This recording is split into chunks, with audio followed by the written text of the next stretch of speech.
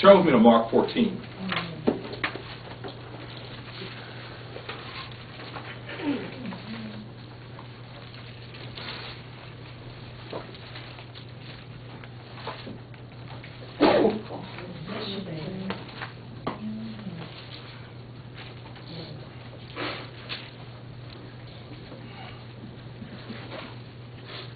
Father, we thank you for this word, Lord. We thank you for helping us to understand how we get offended. And Lord, how can we protect against being offended in the future? And if for some reason we're caught in that trap, how do we get out of offense?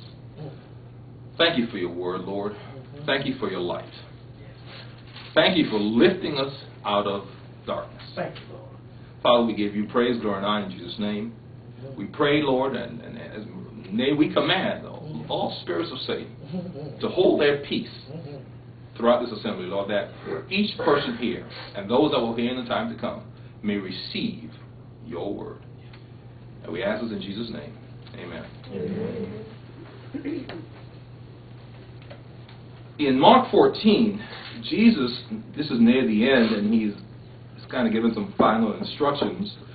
And here in, um, oh, down verse 27, he tells his disciples something something that if I've been following a man for three and a half years, I'm probably going to deny myself, as we're going to see here. But we know he told them the truth.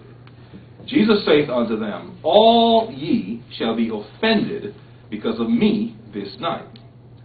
For it is written, I will smite the shepherd, and the sheep shall be scattered. But after that I am risen, I will go before you into Galilee. But Peter, and we know this Peter hasn't been converted yet. Peter tends to speak first, think last. So Peter says unto him, Although all shall be offended, yet will not I.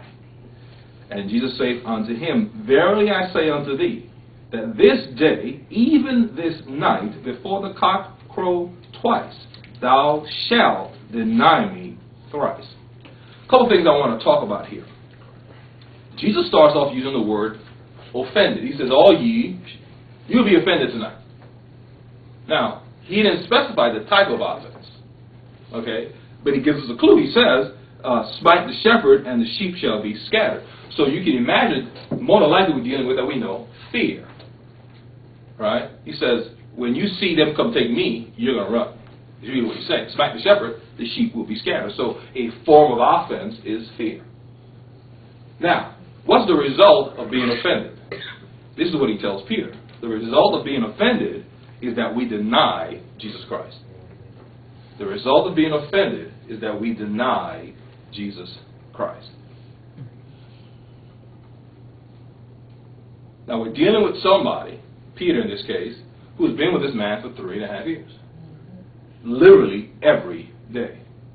Yet he tells him, you still don't get it yet. And because you still don't get it, I'm going to tell you what's going to happen in advance, so when it happens, you can understand. You're going to deny me. Fear will strike you. You'll be offended, and because you're so used to responding to your offense, you will follow what the offense tells you to do. Mm-hmm. Right? We have habits we build in the world mm-hmm. of what you do when you're offended. Mm-hmm. Whatever the offense is, in this case, it's fear. And the answer to fear is run! Mm. Sometimes our habit says anger is the right response. Mm-hmm. Sorrow is the right response. Guilt is the right response. Whatever. In all those things, we leave being spiritual in Christ and we go back into the flesh. All right? So that's what he's saying. You will deny me. You will no longer focus on what I've told you. You will no longer focus on the Word of God. You will go with what your habits tell you to do. Are you with me? Yeah.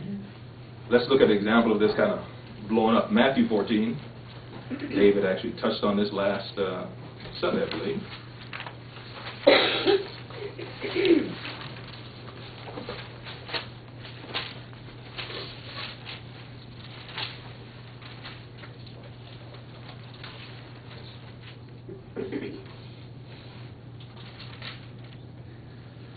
Now, in Matthew 14, Jesus had commanded his disciples to go on ahead of him um across the uh, the lake, and he would he would meet them later.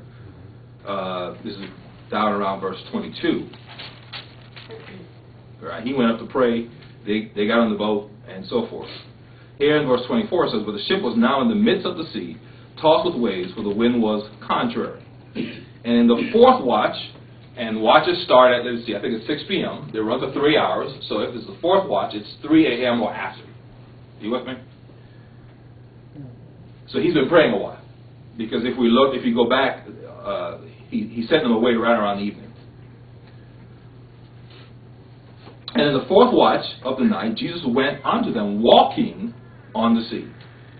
And when the disciples saw him walking on the sea, they were troubled, saying, It is a spirit. Oh, or in, in, in modern day, we say, It's a ghost! It's a ghost! And they cried out for fear. They were offended. Okay? But straightway Jesus spake unto them, saying, Be of good cheer, it is I, be not afraid. Mm-hmm.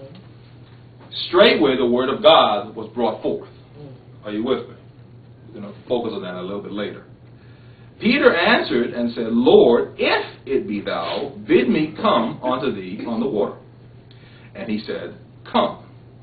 By the way, if God gives you a command, if God gives you a word, then the power to do the thing he just said is available. Mhm. Are you with me? Mhm. Okay? Mhm. One word, come. And when Peter was come down on, uh, out of the ship, he walked on the water to go to Jesus. And when he saw Mm. the wind boisterous, he was afraid. And beginning to sink, he cried, saying, Lord, save me!